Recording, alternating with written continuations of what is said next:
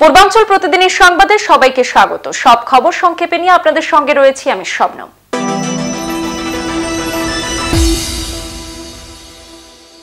শিলচরের নেশাগ্রস্ত যুবকের মৃত্যু নিয়ে মালুগ্রাম পুলিশকে দোষারোপ যুবকের পরিবারের। জানা যায়, গত মঙ্গলবার সুরজ নেশা করে বাড়িতে এসে হুলস্থুল শুরু করে।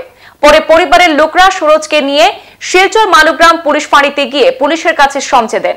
এদিনই পুলিশ পরিবারের লোকেদের অনুমতি না নিয়ে সুরজকে শিলচর মেহেরপুরের একটি নেশা কেন্দ্রে ভর্তি করে দেয়। বুধবার তার শারীরিক অবস্থা বেগতিক দেখে নেশা কেন্দ্রে কর্তৃপক্ষ তাকে শিলচর মেডিকেল কলেজে ভর্তি করে দেয়। বৃহস্পতিবার নেশা কেন্দ্র থেকে মালুগ্রাম আউটপোস্টে জানানো হয় সুরজের মৃত্যু হয়েছে। পরে মালুগ্রাম পুলিশ বিষয়টি সুরজের পরিবারকে জানানো হওয়ার পর উত্তেজনা ছড়িয়ে পড়ে সেখানে। তারা মালুগ্রাম থানার পুলিশকে এ নিয়ে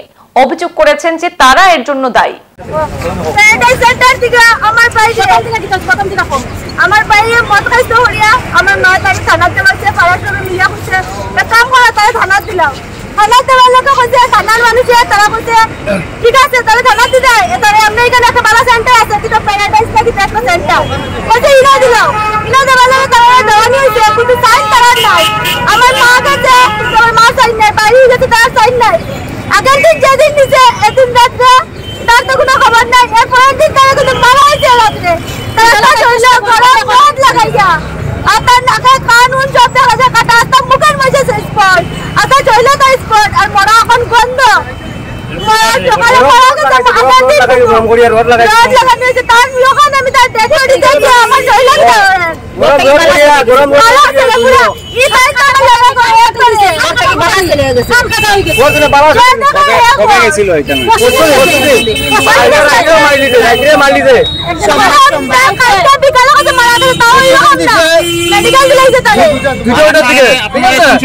কালকে তিনটার সময় থানার থেকে আমরা ফোন করে কইছে যে তার মারা গেছে।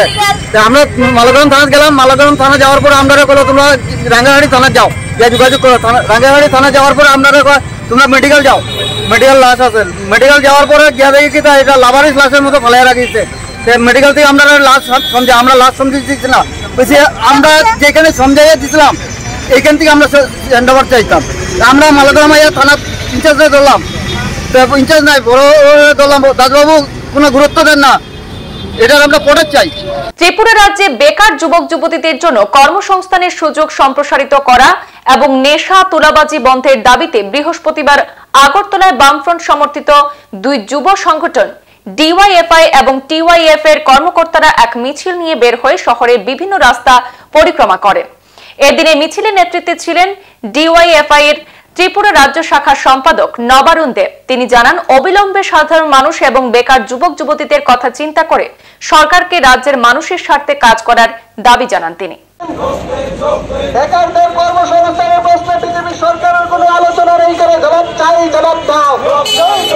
বিভিন্ন শূন্য পূরণ করার প্রথমত হচ্ছে আমরা মূলত দু তিনটা বিষয় আমরা ইস্যুকে সামনে রেখে রাজ্যের ডিওএফআই এবং টিওএফ আমরা আজকের এই প্রতিবাদ মিছিলে রাস্তায় নামছি।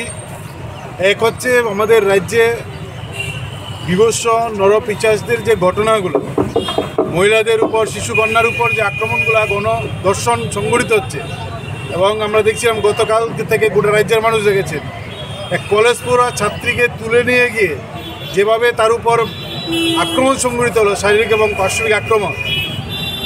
আমরা এই ধরনের ঘটনা দেখছি দুই হাজার উনিশ সালে। মোহনপুরে মন্টি দাসের উপর এই আক্রমণ সংঘটিত হয়, তার দেহ পুড়িয়ে দেওয়া হয়। এই ঘটনার কাউর শাস্তি হয়নি। তারপর থেকে এই ঘটনা বাড়ছে এবং রাম, আমাদের রাজ্যের এক কলেজ ছাত্রী এই আক্রমণের শিকার হয়েছেন গত কদিন আগে। আমরা এই ঘটনার প্রতিবাদ জানাচ্ছি, যতজন তার সঙ্গে যুক্ত, তাদের কঠোর, দৃষ্টান্তমূলক শাস্তির দাবি করছি। দুই নম্বর বিষয় হচ্ছেন যে রাজ্যের সন্ত্রাস প্রতিদিন বৃদ্ধি পাচ্ছে, তার সঙ্গে তুলাবাজি ব্যাপক আকার ধারণ করছে এবং নেশা, বাণিজ্য এবং এই নেশা গোটা রাজ্যকে ধ্বংসের কিনারায় নিয়ে যাচ্ছে। আমরা এই সন্ত্রাস, তুলাবাজি আর নেশার যে রমরমা গোটা রাজ্যে গত কয়েক বৎসরে যে সাম্রাজ্য বিস্তার করেছে, তাতে আমাদের রাজ্যের বিশেষ করে নতুন প্রজন্ম, যুবক, যুবতী শেষ হয়ে যাচ্ছে। রাজ্যকে এর হাত থেকে বাঁচানোর জন্য রাজ্য সরকারের কাছে দাবি করছি এবং তার পাশাপাশি যুবকদের হাতে কাজ চাই।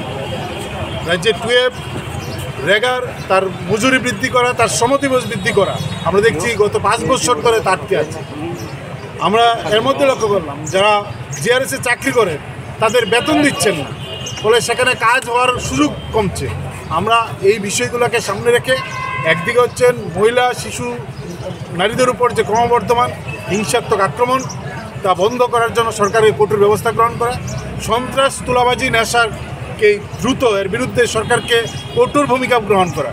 এবং মানুষের হাতে, যুবকদের হাতে কাজের যে কর্মসংস্থানের সুযোগ, তাকে সম্প্রসারিত করা, রেগা টুয়েপের মজুরি এবং শ্রমদিবস বৃদ্ধি, এই দাবিতে আমরা আজকে যুবকরা রাস্তায় নামছি।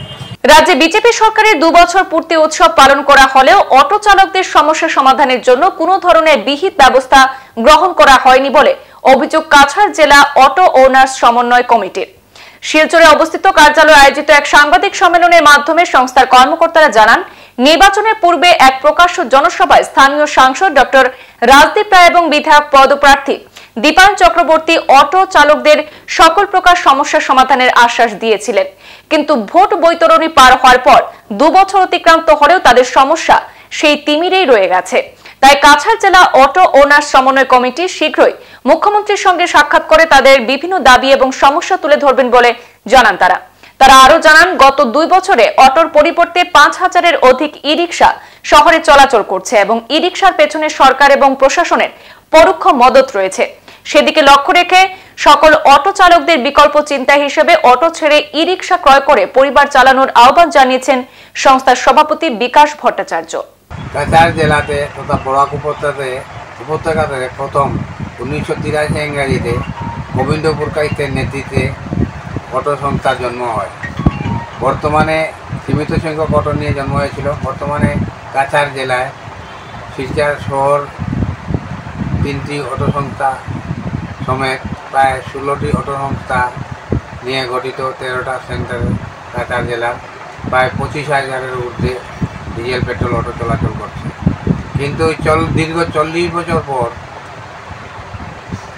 আজকে অটো মালিকগণ, অটো শ্রমিকগণ, অত্যন্ত দুঃখের সঙ্গে আমাদের বলতে হচ্ছে, আমাদের সংগঠন, আমাদের মাননীয় প্রথম সভাপতি গোবিন্দপুর কায়িত্ব গঠন করেছিলেন, একটি অরাজনৈতিক সংগঠন। বর্তমানে ষোলোটি সংগঠন আছে, প্রতিটি সংগঠনই অরাজনৈতিক সংগঠন।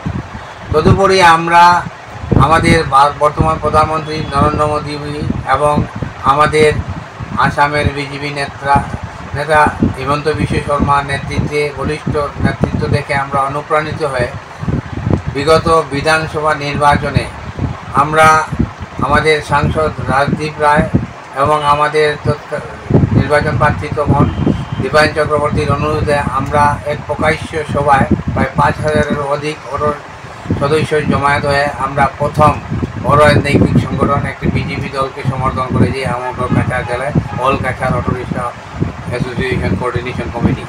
চাঁদকিরা স্বামী বিবেকানন্দ কলেজে স্বাস্থ্য বিষয়ক এক দিবসীয় সচেতনতা সভা সম্পন্ন। স্বাস্থ্য বিষয়ক এক দিবসীয় সচেতনতা সভায় স্বেচ্ছায় মরণোত্তর দেহদান করলেন বামপন্থী নেতা তথা পাথারকান্দির প্রবীণ সমাজসেবক কৃপেশ দাশগুপ্ত।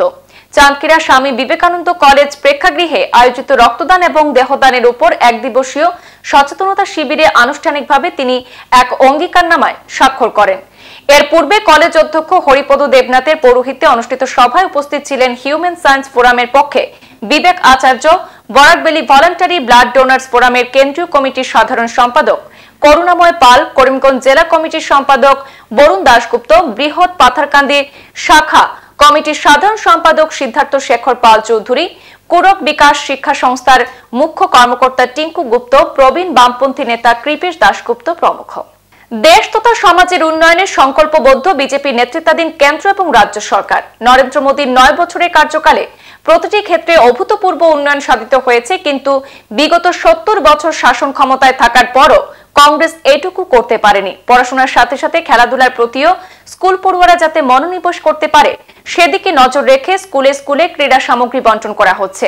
বৃহস্পতিবার যুধিষ্ঠির সাহা উচ্চতর মাধ্যমিক বিদ্যালয়ের এসসি এবং ওবিসি জাতিভুক্ত নবম এবং দশম শ্রেণির পড়ুয়াদের মধ্যে ক্রীড়া সামগ্রী বন্টনের এক অনুষ্ঠানে অংশগ্রহণ করে। এই মন্তব্য করেছেন শিলচর মহকুমা তফসিলি জাতীয় উন্নয়ন পর্ষদের চেয়ারম্যান আইনজীবী নিহার রঞ্জন দাস এবং ওবিসি ডেভেলপমেন্ট বোর্ডের চেয়ারম্যান রোমাংশ শেখর নাথ। ছাত্রছাত্রীদের মধ্যে এই বিতরণ করা হচ্ছে। আমরা জানি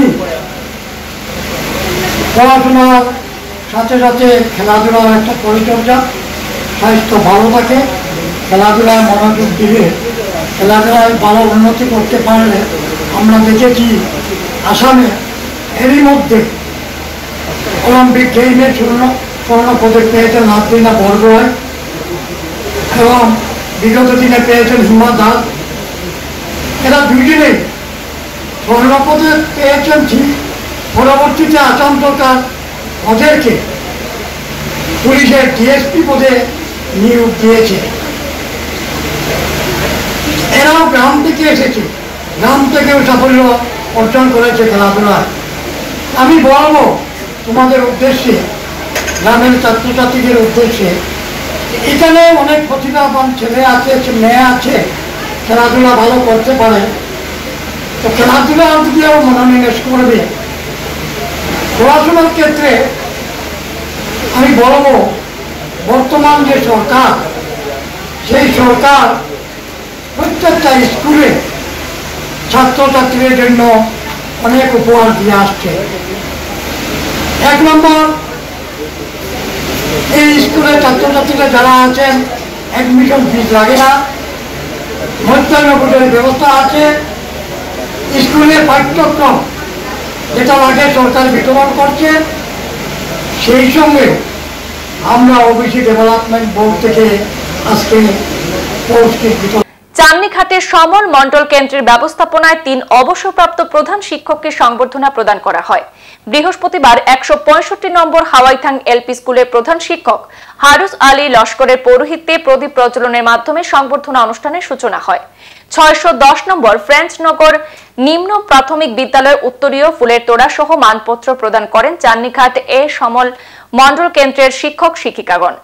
তিন অবসরপ্রাপ্ত শিক্ষকগণ হলেন নর্থ হাওয়াইথাং এম স্কুলের প্রধান শিক্ষক আহমদুল হক মজুমদার ছয়শো দশ নম্বর ফ্রেঞ্চনগর নিম্ন প্রাথমিক বিদ্যালয়ের প্রধান শিক্ষক হীরালাল দাস, চোদ্দশো একান্ন নম্বর লাইলাপুর এলপি স্কুলের প্রধান শিক্ষক মকব্বির আলী বরভুইয়া প্রমুখ।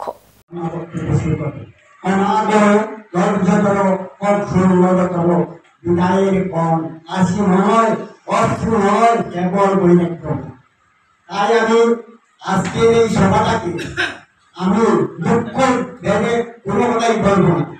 সব আমি মনে আনন্দে বলব কারণ আমার চাকরি জীবন শুরু হয়েছিল উনিশশো সাতাশি আমরা একই বেঁচে চাকরি পেয়েছিলাম।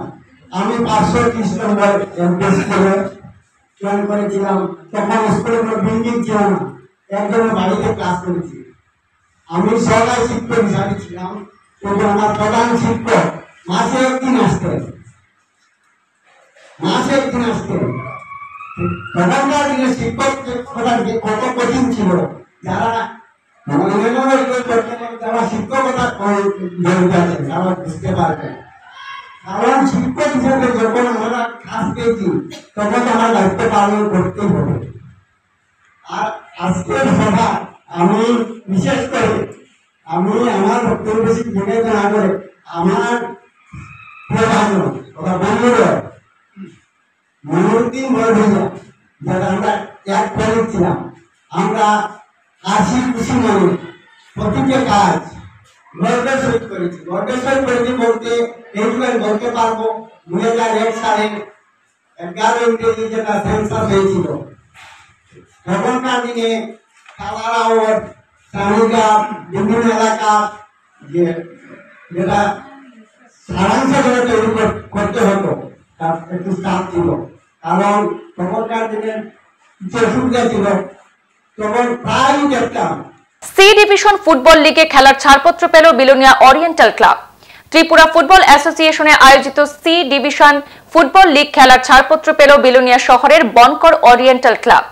এই প্রথম রাজ্যের রাজধানী শহর ছাড়া মফস্বল শহরের কোনো ক্লাব এই ধরনের খেলার যোগ্যতা অর্জন করল।